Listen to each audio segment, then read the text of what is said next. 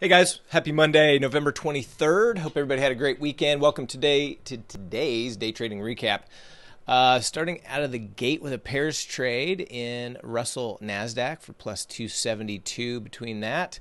Uh, tried to take a long runner in the Dow, uh, got flushed out on that, so minus 108. Nice mighty 90 trade in Amazon for plus 460. Uh, Baba and Nvidia, those were mighty 90s, and just got out, uh, got out for small losses on those.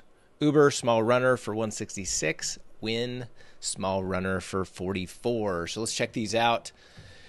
Break them down. Starting with the Dow. Uh, let's go to the Dow. So Dow was strong initially and was holding strong even when the Nasdaq was starting to flush down. I uh, was holding above Friday's high, above the pivot. So I was looking for a continuation higher, and this thing just pushed lower. So as soon as it made that big push, I uh, I just got out uh, for a small loss there. On Amazon, a nice mighty 90 here had this push down. Uh, I got in uh, with uh, one right here at the bottom of this bar and then added a little bit more as it pushed into uh, yesterday's close. Had a nice big bounce, got out of most of it, came back all the way back down, and then when it bounced again, uh, got out of the rest. So it was a good exit because Amazon did fall apart there. Uh, Baba and Nvidia. So in Baba Mighty 90 here had this uh, similar situation, had this push lower, uh, caught this little bit of a bounce, but I got in a little bit early, so I never could quite get a profit in Baba before it. Uh, and in fact, I got a bad fill as this thing started to roll over after the second green bar. So could have been a small winner, ended up being a small loser. Uh, same thing with Nvidia. Uh, just trying to catch a bounce here.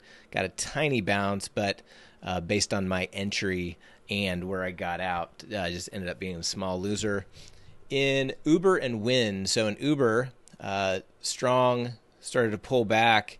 Uh, uh, it's right under all time highs, so I got in for a long runner right here.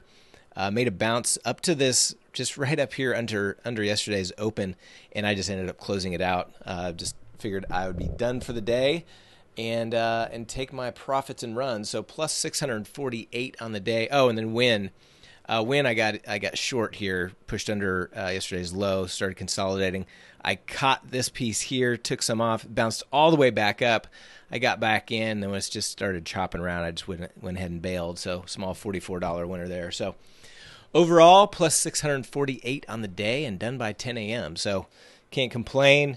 Uh, I uh, don't really see any other opportunities I want to jump on uh, later today, but uh, everybody have a great day. We will be streaming live tomorrow on Tuesday and then off Wednesday, Thursday, Friday for Thanksgiving. So jump in there tomorrow. Look forward to seeing you. If you guys have any questions, let me know.